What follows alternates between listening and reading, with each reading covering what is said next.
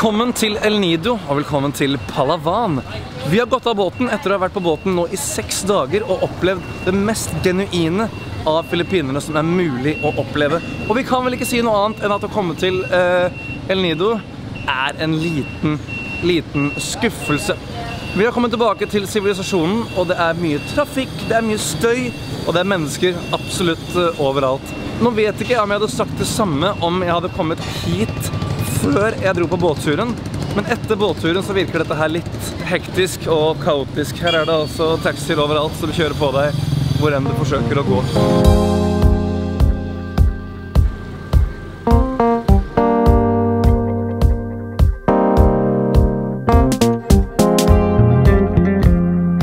Vi kom i prat med en kar i går, og han sa at for bare 20 år siden så var det nesten ingenting her. Alle hus som fantes her i El Nido, det var bare bungalows, og folk bodde her litt på samme måte som vi bodde ute på disse her eh, øde øyene. Så det vil si at turismen her har jo virkelig dratt fart i El Nido på godt og vondt. For de lokale så har de fått masse jobb og arbeid, men for oss som har vært på øyer og sett genuint eh, Filippinene, ja, det blir ikke helt den samme gode stemningen å komme hit.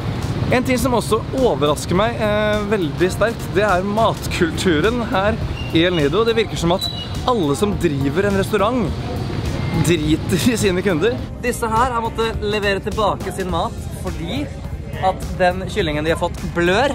Jeg fikk ikke kylling i det hele tatt, men eh, nå kommer den. And where's my rice? Ah, rice? Og hvis du ber om å betale, så blir de nesten sure på deg. Nå skal vi ta en liten tur rundt her i El Nido. Vi skal opp på et lite fjell, få litt utsikt, kanskje fly litt drone. Og så skal vi se hva El Nido har å bjuda på.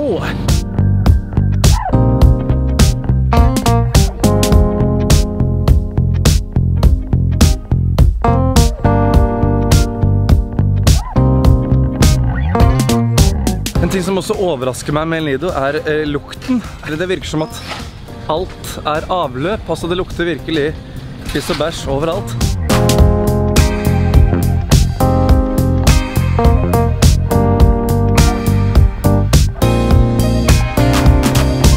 How to get to the El Nido canopy walk.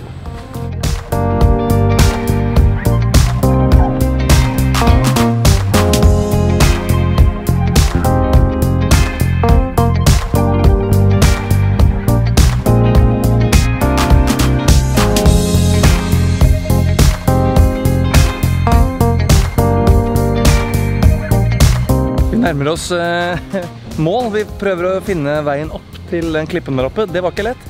Men nå har vi kommet inn på et eh, torg som ser ut til å bli et marked i kveld. De driver og bærer inn masse bord og stoler og ting og ting. Men eh, ja, arriba.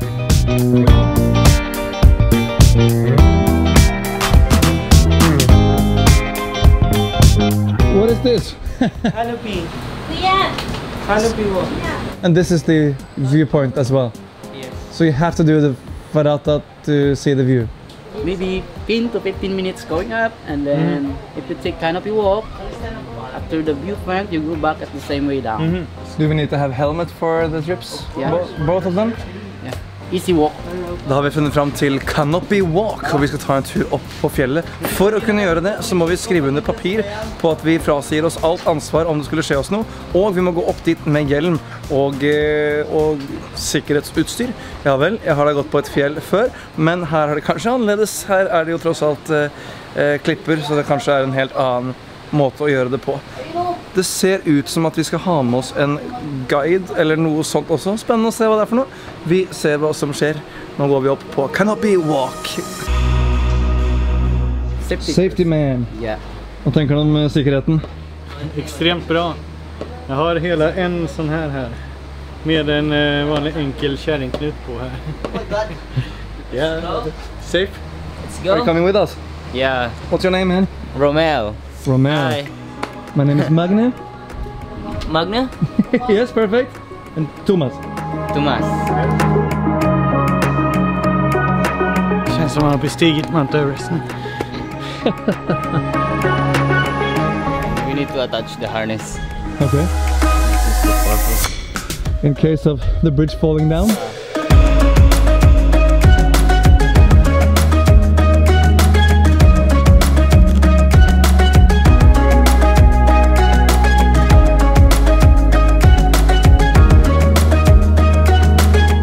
Long time did it, did it take to build this? Three months. Overviewing of El Nido. Yeah. Let's take a look at the view. Yeah.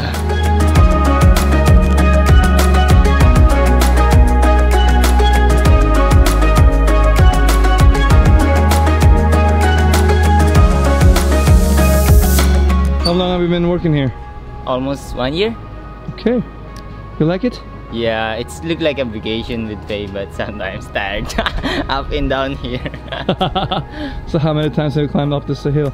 uh, the normal is five, and maximum is six to eight times a day. So when For a year? when maximums comes, very tired.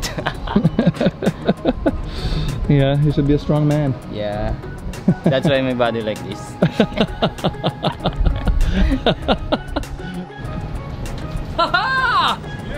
Okej, vi ses!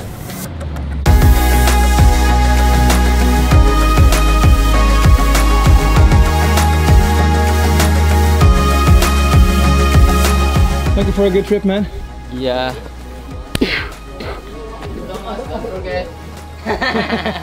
Yeah, you should get it. Hva vill han ha, Thomas? Han vill ha min Rip Curl-tröja. Jag ska ändå skaffa mig en Red Horse. Bye!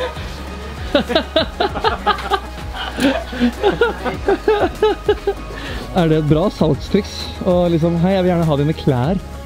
Når man er guide, er det... Ah, ja, du ser strålende ut.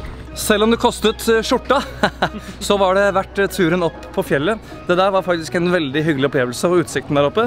Det er ikke så høyt, men det var en veldig, veldig fantastisk eh, utsikt. Maybe... Can I try? How much is it? Maybe a bit small. But... Ah, it's perfect. Yeah, I take it. Okay, have a nice day. I'm so happy. I morgen så reiser vi videre til eh, Puerto Princesa. Og det er et sted jeg ikke vet noen ting om. Så eh, ja. Vi ses i morgen. Takk for følget. Og eh, klikk her nede, da, så du får med deg neste episode av vår reise her i Filippinene. Ha det godt.